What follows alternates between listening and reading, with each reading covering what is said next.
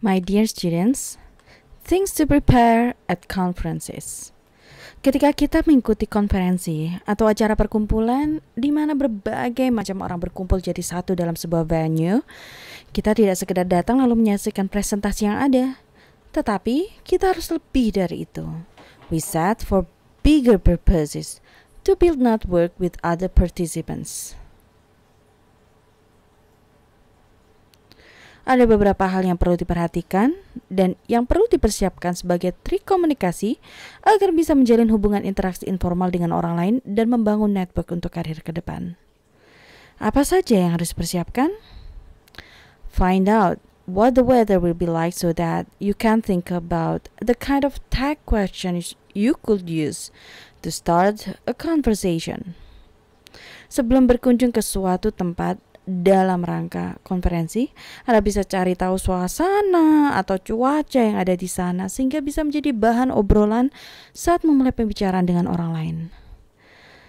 Look up the names of the speakers. Conference programs often have photographs of the speakers too. You might see these people during the break and have a chance to use the key phrase, I think I recognize you from the program. Biasanya sebelum kegiatan dimulai beberapa hari sebelumnya, kita mendapatkan daftar orang-orang yang akan berbicara dalam konferensi. Biasanya, keynote speakers akan ditampilkan dalam poster dan Anda akan mengenali profil dan foto mereka. Anda pun bisa menggunakan Google untuk mencari tahu lebih dalam tentang pembicaraan tersebut. Ini bisa menjadi dasar obrolan seandainya bertemu di venue. Hello sir, saya membaca tulisan Anda. Hello ma'am, Sepertinya tidak asing ya, saya menghadiri presentasi Anda kemarin. Go online and check out the venue. Selain itu, Anda juga bisa mencari tahu gedung konferensi yang digunakan. Apakah gedung itu termasuk gedung yang bersejarah? Apakah didesain oleh arsitek yang terkenal? Atau bahkan juga apakah memiliki nilai-nilai sejarah? Ini bisa menjadi topik yang hangat untuk menjadi bahan pembicaraan. You may not have time to travel around the city where the conference is taking place, but you might have time to talk about the city with people who know it well. Berkunjung ke kota lain atau berkunjung ke negara lain dalam rangka konferensi memang membuat kita tidak mudah untuk lebih fleksibel dalam memiliki waktu berkunjung ke area sekitar.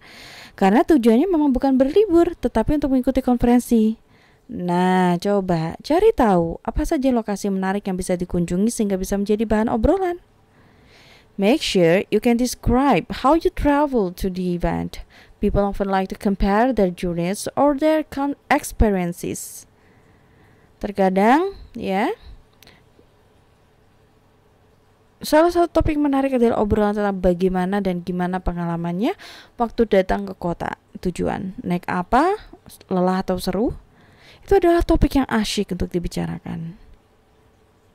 Dan yang terakhir, if you feel prepared, you will feel and look more confident when you strike up a conversation. Sekali lagi, mengapa kita perlu mempersiapkan apa-apa saja yang perlu dibicarakan dalam konferensi?